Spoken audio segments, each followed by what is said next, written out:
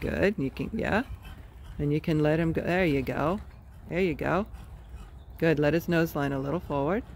Good. But don't tip you forward. Stay, feel he stays up in your thigh and knee. There you go. So you're staying back better. That's better.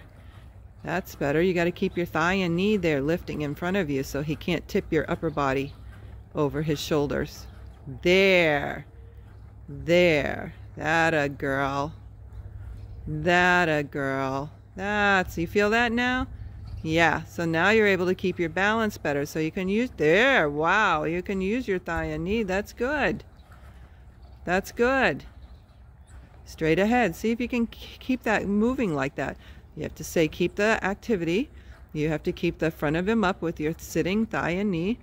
There you go. Good. Yep, and you let his nose line in front for a couple of centimeters. Atta girl. Good. Good. Good. so you have to lift in your thigh and knee again. You got to say, I'm not going to go down in my front.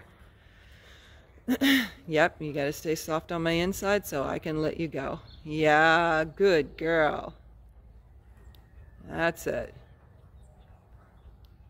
Change to the next circle. Very good. Okay, you got the big trot going now. That's it. but you have to keep that idea that you can stay up and back on your sitting and that your front of your thigh, your knee, you can help keep the front end up in front of you a better so he's not tip pulling you into the pommel. That's really good. That a girl. You got it. You got it. Good job. You got it. That's it, Nicole. Exactly. That's it. You have to keep your hips on the saddle. And so you, you part with him, you kind of have to, to do that. You have to tell him with your knee and your thigh, hey, stay up in front of me. There you go.